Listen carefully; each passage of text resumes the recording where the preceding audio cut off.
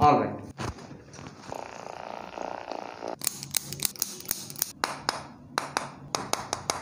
तो अराउंड पचास प्रतिशत पेन उनका कम हो गया।